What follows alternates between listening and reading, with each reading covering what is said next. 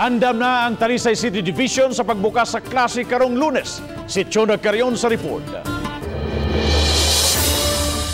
Kapin 51 mil ka mga tinunan sa elementarya ug high school ang na-enroll karon sa school year 2020-2021 sa Dakbayan sa Talisay. Kini ubos sa modular learning samtang ang uban misagop usab sa online ug radio-based instruction.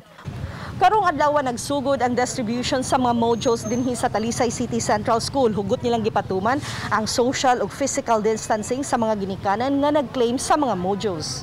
Matag musulod nga ginikanan aron mukuha, kuhaan og body temperature og gipa-fill up og health monitoring form.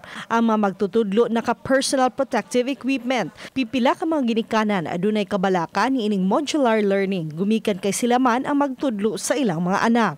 Disod sad mamoy para namo kay English. Di ba sabi ko mo English. Pero gamay ra mong nahibawaan ba. Mato ni Talisay City Division Superintendent Evangeline Luminarias nga aduna na sila igong resources sa pagkakaroon. Gumikan sa ABA, gikan sa Talisay City Local Government Unit o gikan usab sa Special Education Fund. Ug aduna usay mga pribadong individual nga midonate og mga kagamitan. Nangayo lang siya og kooperasyon sa mga ginikanan ug mga tinunan nga tanang nag-adjust sa new normal nga pag-eskwela sa akong gihangyo ang tanan sa pag-andam o uh, sa ang mga ginikanan Salamat ninyo daan sa inyong pagtabang sa atong eskwelahan, sa atong mga magtutudlo.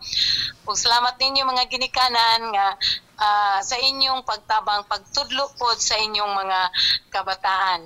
Umani rin ang Tikinyones, Chana Caryon, Balitang Bisdak.